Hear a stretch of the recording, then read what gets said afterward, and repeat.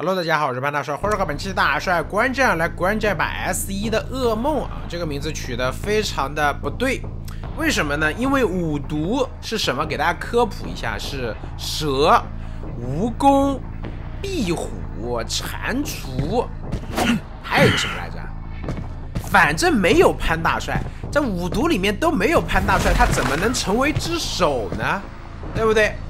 啊，所以说这个同学他根本问题搞错了。就来纠正一下，我们来看一下啊，这局的话，阵容方面，先知、杂技、玩具加前锋，这样阵容还不错啊，蛮有的打的。呃，上来的话，这边耗一下前锋的球，应该不会死抓前锋吧？插眼，死抓前锋打防守，死抓前锋不打防守，但是他们这边有一个玩具商可以飞天救人。前期抓前锋花的时间如果多了，我觉得这个局他只能靠开门战或者防守这两个点，就是他很难去滚雪球啊。就要么防守打好了赢了，要么就是正常双边打，然后可能是个三人开门战或者四人开门战，然后你要通过开门战来争胜。这边低头走路，距离上面来看的话，这里应该是能翻下去的，翻下去跟。硬抓前锋，这个时间击倒得一分四五十秒了呀。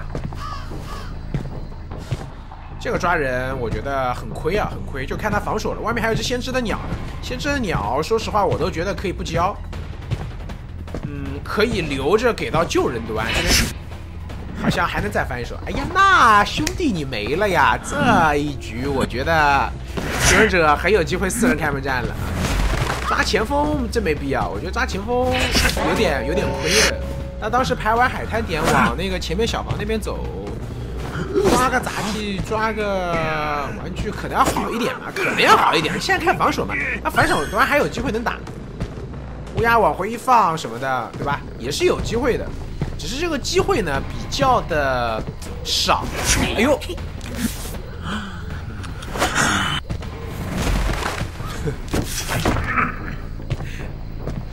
哎，我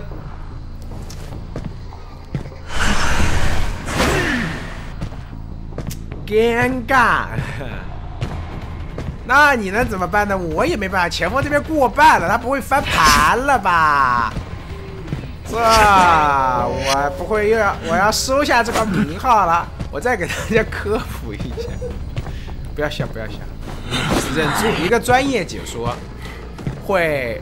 非常专业的面对现在场上的局势，求生者由于这波震慑确实局势瞬间扭转，但是只要这个前锋不被找到，因为现在前锋上干嘛呢？手里面有个护臂，还有一战之力，玩具商在二楼准备直接跳下来飞下来把人给救了，应该是有搏命的吧？这是一个双弹玩具啊，双弹玩具没搏命的话，那得套个鸟，这个杂技是不能就是救下来直接刷挂的。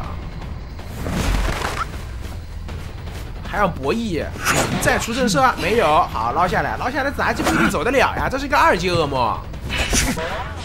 有搏命的话，其实我觉得求者还有的打，先知鸟也没给上。这边的话，下一个乌鸦如果说飘到前锋，我觉得 噩梦赢面很大。飘不到前锋，这边前锋摸了一根针，他还想准备来救人，那求者的机子会差很多。现在的话差了。一台新机，一台遗产，这样子打下去，我觉得这样子啊，这个名字呢，它我们就不讨论了。如果这一局，我现在下结论是什么呢？我觉得这把噩梦赢了，而且大概率是一个四抓。如果说这把穷者能翻盘打成一个三跑，我就把我微博的名字改成五毒之首潘大帅。哎，这个。这个这个 flag 立的够，鸟给上捞下来，有搏命归有搏命，这两个人都是上挂飞。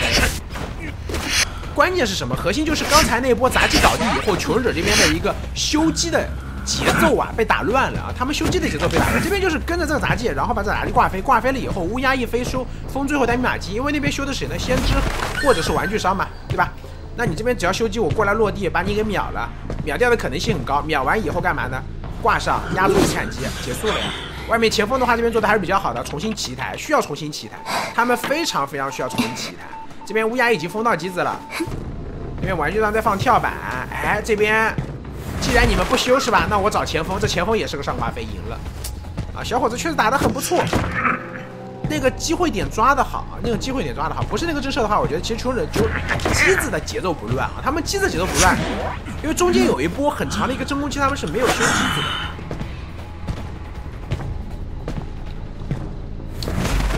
我现在分析来分析去，分析的头头是道，很专业。我觉得自己都分析的都很对，你们也不会听。哎，你们就觉得，是不是？那我还有什么好说的呢？这里前锋要撑，他撑不住，因为什么呢？这边乌鸦封住密码机的，那边两个人状态补好，这前锋差不多就得倒了，啊差不多就得倒了。我还真不信这前锋能够，对吧？牵制到最后。华飞，然后那边密码机，这个密码机强起吧，只能强起了。说实话，这边只能强起了。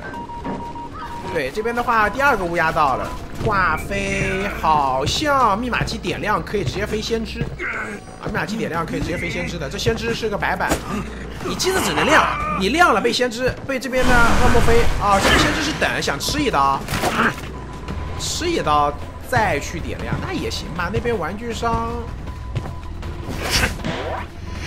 但这样子其实我觉得也差不了太多，该倒还得倒，倒完以后这边放一个乌鸦封门赢了。